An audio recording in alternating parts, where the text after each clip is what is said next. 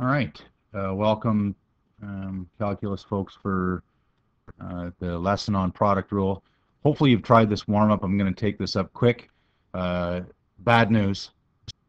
What should work doesn't work. It's the first sort of thing in, in, in calculus which doesn't make sense. We saw that yesterday if we had uh, the sum of two things. So if we wanted to take the derivative of x cubed plus 5x squared or something like that, that we could just take the derivative of the two pieces and then add them together. The sum of uh, the derivative of a sum is the sum of the derivative, but for product we're going to see bad news. And that's what this warm-up was about. Hopefully you, you found this. So find the derivative uh, p prime. And so we don't know how to take the derivative of a product yet, so we expanded and then once you take it and write it as a polynomial, pretty easy. You're getting used to that step there is easy now, right? And so the derivative is uh, 6x squared plus 22x plus 15. As long as I haven't made any arithmetic, errors, uh, no problem. So then write p as the product of two smaller functions. So makes sense that that would be f at x, and then that this is p at uh, g at x, right?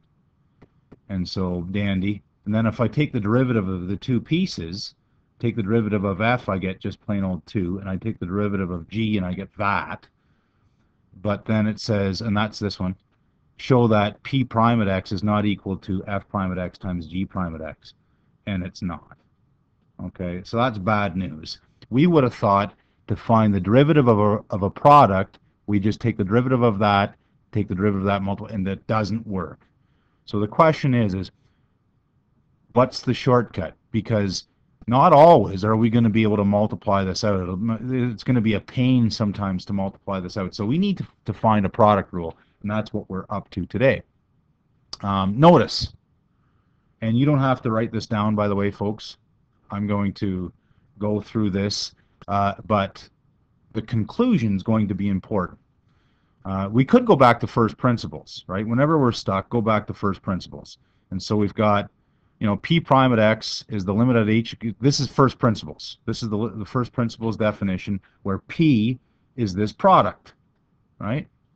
And so p at x plus h, notice I took out the x and I put in x plus h in red there just so it stood out. And this is going to get nasty, folks. I, I, I, hope no one faints because it's going to get nasty. Um, because this expression is this expression. Right? That whole thing is this. Subtract p at x, which is this thing, uh, that product over h. Um, and then, if you notice, there's something going on here. If I, when I multiply this out, um, I expanded this red, and I got this red, x squared plus 2. I expanded uh, this and collected like terms. So there's a 2x and a 5, 2x plus 5. And essentially what I'm looking for is I'm looking for stuff to cancel out. So I've got this 3x, is this 3x, and then I've got an x squared there. Notice that these black terms are ones that only have x's in them. There's no h's. Right? So I'm looking to collect those up. These green ones have h's in them, so I'm going to collect those up in a bit.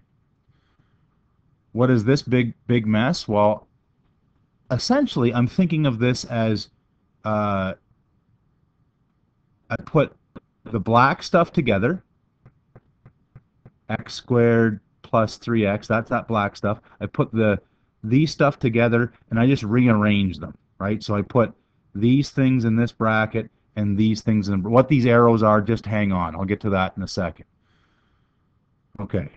So you see this this first step. Now what do the arrows mean? The arrows mean essentially I've got an A plus B times C plus D. I've got a huge FOIL where there's brackets. Um, and the big thing is, is I'm noticing, I'm looking over here to this term, and that times that is positive, and this one's negative. So something's going to happen here.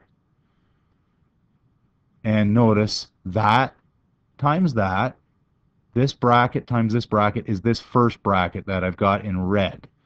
Um, then I have one in green. I've got 2h times this bracket. there's this green one. This times this is that. And this is nasty, I realize. I, I told you, I hope nobody faints. And then this times this is that business. Um, finally, 2h times this thing is 2h times that thing. That's that black bracket. And you see 4 there. And you don't have to be writing this down. And then I just copied that down. The reason why we took care of this is so I see this is going to cancel. This yellow stuff cancel. Gone. There's a positive and a, and a negative. That's gone. And then, of course, the big thing is, is then on these terms, if these are gone, these things have an H in them, don't they? And so there's an H. That, that's gone, remember. There's an H there. There's an H in this bracket that I that I took out there, and there's an H in well, there's an H there, and so that means I can cancel the H on the bottom. I've kind of got a yellow dot over that. And why is that awesome? Well, that's awesome because then I've eliminated my H on the bottom, and then I can let H go to zero. And there's my derivative, right? Well, and I know I could expand that and all that other business. But I want to show you something. This 2 was actually the derivative of f. Remember, f was 2x plus 5, so f prime at x was just 2. g prime at x was just 2x plus 3. This is this first thing is is f prime. This thing is g. This thing is f at x, this thing is g prime at x. This is actually the product rule. When I've got a product, I take the derivative of the first, write down the second. I write down the first, derivative of the second. This is the product rule. Wow, not that nice. And there it is.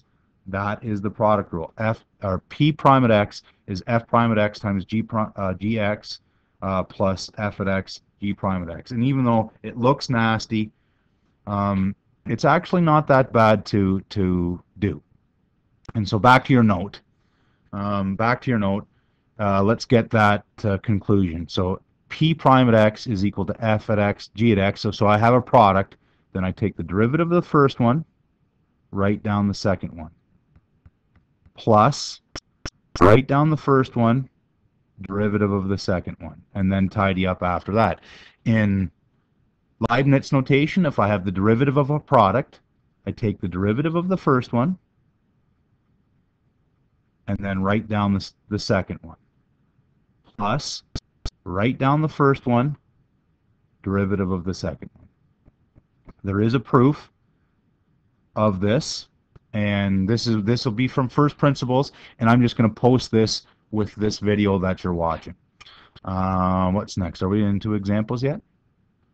Okay, uh, sort of. Use the product rule to develop an expression for the extended product rule. Well, one way one way to think of this is I could think of this as f at x times some other function, right? So if, if I wanted to find the derivative of this, then I take the derivative of the first thing, write down the second thing. The, the second thing happens to be a product as well. Plus, write down the first thing. Oops, write down the first thing, no derivative. Write down the first thing. And then the derivative of this. Now, the derivative of this is actually a product rule in itself. So if I wanted to take the, the derivative of this function, it's also a product rule, right? So how would I take the derivative of this? Well, this stuff I'm going to write down, f prime at x, g at x, h at x. But this I still got work to do. Well, how do I take the derivative of, of a product? Well, I take the derivative of the first thing, write down the second thing. Then I write down the first thing, take the derivative of the second thing. Now notice, if I wanted to tidy this up, I'd multiply through by the f prime at x, and then a pretty nice pattern involved, uh, gets uh, developed here. f at x, g prime at x plus, then I'm going to have f at x, g at x, h prime at x. Now you notice what's going on here? That if I had three things multiplied, the extended product rule, take the derivative of one, write down the other ones. Take the derivative of the second one, write down the other ones. Take the derivative of the third one, write down the other ones. And that's exactly what we've got, right? One, two, three. So if I wanted to, to do this one, what's the pattern? p prime at x is take the derivative of the first one, write down the other ones. Plus, take the derivative, darn, take the derivative of the second one, write down the other ones. Take the derivative of the second one, write down the other ones. How many times am I going to have to do this sort of thing? four times because each one is going to contain one derivative. Take the derivative of the third one, write down the other ones. Take the derivative of the fourth one, write down the other ones. And notice that whatever this is, lots of algebra work to do after to tidy this. Um, dandy. Okay, there's more rules, but I'm going to pick up the uh, these rules in part two.